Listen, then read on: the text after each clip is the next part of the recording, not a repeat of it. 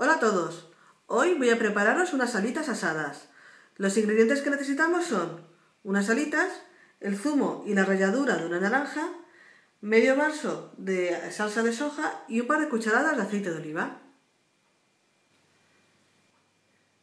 Primero voy a preparar el adobo en el que voy a meter las alitas. Y para ello, en un cuenco bastante grande, pongo todo el zumo, la ralladura,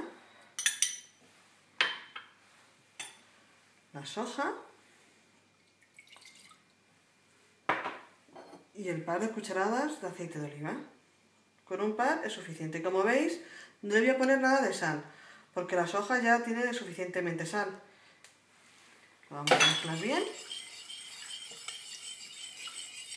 Y sobre esto vamos a añadir las alitas, que yo las he partido. Vosotros hacedlo como más os guste. Ponemos todas.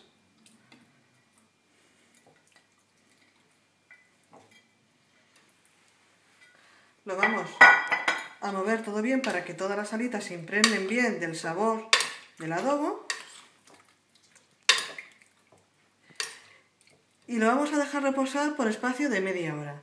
Mientras tanto, tenemos que poner el horno a precalentar a 200 grados. Ahora lo que he hecho ha sido ponerlas en una bandeja del horno y las voy a poner a hornear aproximadamente unos 15 minutos o hasta que estén doradas.